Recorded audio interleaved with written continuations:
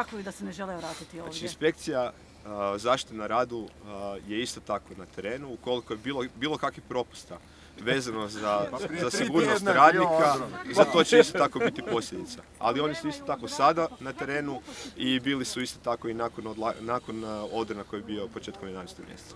Jeste razgovarali s radnicima, što oni sad kažu, mislim, koliko se oni uopće sad osjećaju Znači, sigurno? razgovaramo sa sindikatom i razgovarat ćemo dalje. A, vidjeli ste već i neke izjave sindikalnih čelnika u javnosti i vezano i za odgovornost privatnih poduzeća. Znate i da privatna poduzeća isto tako održavaju Jakuševec sad već i neko vrijeme. Znači, to je, čini mi se, ovaj sastav poduzeća od 2018. godine. Međutim, državne inspekcije i, i policija su ti koji trebaju reći kako, čija je odgovornost i kako je do ovoga došlo. I kada se utvrdi ta odgovornost će biti i posljedica. A ta ploha koja se sad odronila, je to isto pod privatnim tvrtkama ili...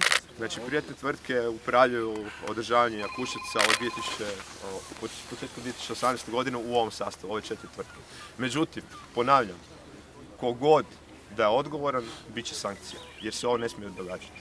Znači, ako se utvrdi da je odgovornost a, a, gradske firme, ako se utvrdi da je odgovornost privatnih firmi, ako se utvrdi bilo čija odgovornost projek- projektanta, nadzora, izvođača, mora biti sankcija za ovo. Ovo se ne smije događati. A kevo čistoća, što, Što se tiče daljnjeg odlaganja, odlaganje je, znači odlaganja nema trenutno, znači ono je suspendirano i bit će onako kako kažu državne nadležne institucije.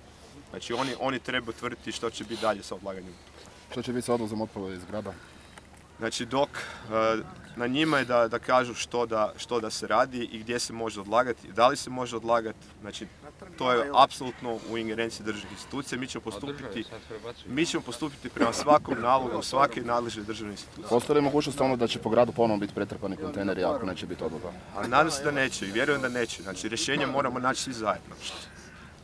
Isto tako sam, isto tako tražim sastanak sa vladom hitan da se utvrdi, da se utvrdi što se sve treba napraviti da se konačno zatvori odlagalište Jakuševac. Znači znate da, znate da, gledajte, 20 godina, 20 godina, 20 godina su bila obećanja da će se odlagalište zatvoriti, to se nije napravilo. Mi radimo sve što možemo da ga što hitnije zatvorimo. Ali to isto tako nije samo odgovornost grada, nego isto tako i države.